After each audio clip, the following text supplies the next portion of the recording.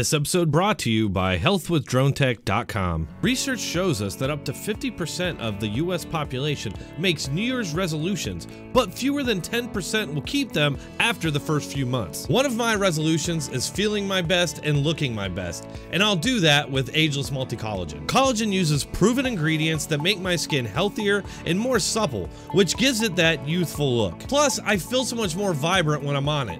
It's gonna give me the energy that I need to stick with all my resolutions this year. Just go to www.healthwithdronetek.com and get my favorite collagen for 51% off today so you can look and feel your absolute best. Or click the link in the video description or pinned comment. Well, my reaction is that 45 out of uh, 50 Republicans think that uh, former President Trump should face zero accountability for inciting uh, an insurrection. And I tend to agree with Joy. The current Republican Party, um, there is no rift in the in the current Republican Party. This is a far right extremist party. This is the party of QAnon. This is the MAGA party. This is the Confederate flag party, the Confederate statue party, the Kids in a Cage party, the Build a Wall party, the anti-science party, the uh, anti-climate change right. party, the Nationalist party, the Isolationist party. Hey, welcome back, everybody. So I just had to show this clip. I know it's driving you all insane. I hate watching the spew as much as you do. But every now and then they say something that's just so off the wall and insane that I have to address it. And in regards to Trump's supposed incitement, I've seen zero evidence that he did that. What he did say at the end of his speech was that they should all go out and peacefully protest, make your voices heard. So, as usual, the people in the media, the elites, the Hollywood elites, they're all trying to shut down their political opposition. These people think that they are sort of the baseline for America, and anybody who stands in opposition to them, uh, disagrees with them or the things that they say, well, there are they are the worst monsters that you can imagine, and they're going to paint you that way in order to solidify their power, and so that they can push their agenda criticism and scrutiny free. First off, let me just say that I don't have any real allegiance to the Republican Party. They've never really done anything for me and they don't inspire me. But the fact of the matter is, what she says in this rant is just totally untrue. It's a pure Democrat Party broad generalization and sweeping judgment of 75 million Americans because they're inconvenient to their agenda. I don't want to spend a ton of time on this, but let's just go down her list of claims here and easily debunk them. First of all, she says that this is the party of QAnon.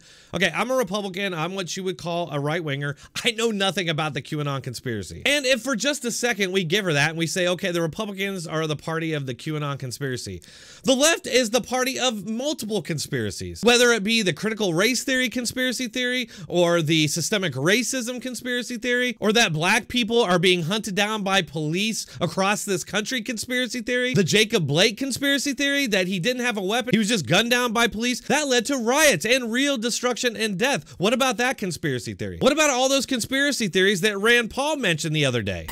No Democrat will honestly ask whether Bernie Sanders incited the shooter that nearly killed Steve Scalise and volunteer coach. The shooter nearly pulled off a massacre. I was there because he fervently believed the false and inflammatory rhetoric spewed by Bernie and other Democrats such as the Republican health care plan for the uninsured is that you die. As this avowed Bernie supporter shot Steve Scalise, nearly killing him, and shot one of our coaches and two or three of our staff, he screamed, This is for health care.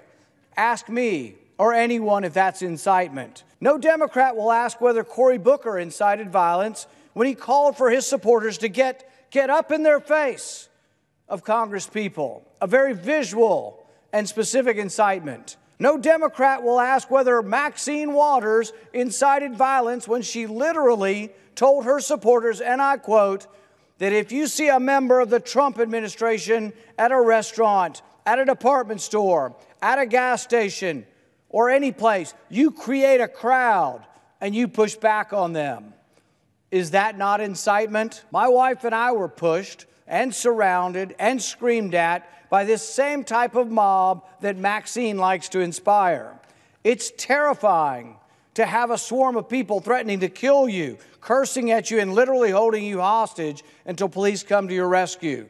That night we were assaulted by the crowd. I wasn't sure if we'd survive even with the police protection. But no Democrat has ever considered impeaching Maxine for her violent rhetoric. Many on the Democrat side of the aisle cheered them on. Kamala Harris famously offered to pay the bill for those who were arrested.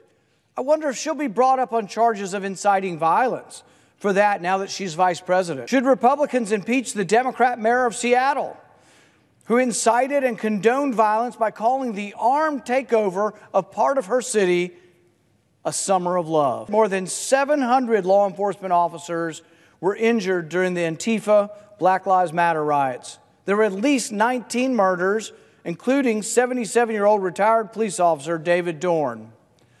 Yet Democrats insist on applying a test of incitement to a Republican that they refuse to apply to themselves.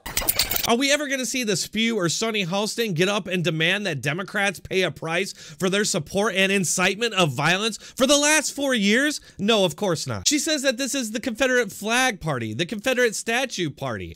I'm sorry, I, I have no love for the Confederate Army or any of that stuff, but I do understand the principle of standing up for American history and being against the idea, the Orwellian idea of book burning. I don't fly a Confederate flag. I don't care about the Confederate flag, but I understand that if they take that, then what's next? Because the logic that they use to take away the Confederate flag or demonize it, they can use to demonize and take away the American flag. We saw this with the statues. Trump saw it too. He warned that the logic being used to take down those statues would also be used to tear down the rest of American history. But what happened? Trump was right. They targeted Washington, they targeted Jefferson, they targeted Mount Rushmore, and make no mistake, when all of this is said and done, they'll take down all of American history. That's what most of us are standing up for. It has nothing to do with the Confederacy or racism. Then comes one of her worst accusations. She says that the Republicans are the kids in cages party.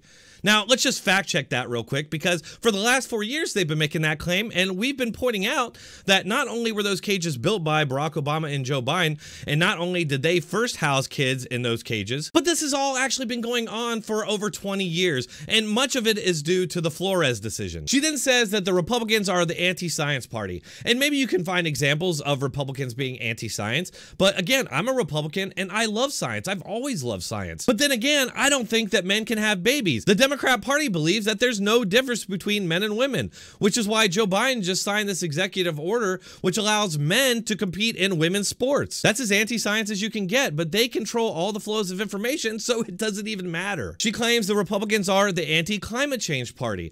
Again, I don't think anybody believes that there's no climate change. We all know that since the earth was formed that there's been climate change. What we disagree with again is this far left ideological movement using this cause as a Trojan horse for their far left policies, which are inherently anti-capitalist, anti-American, anti-individualism, and ultimately anti-freedom. Folks, the hard truth here is is that as long as they control the flows of information in all these institutions, it won't matter how hypocritical or wrong they are. Simply being in power means that they're right.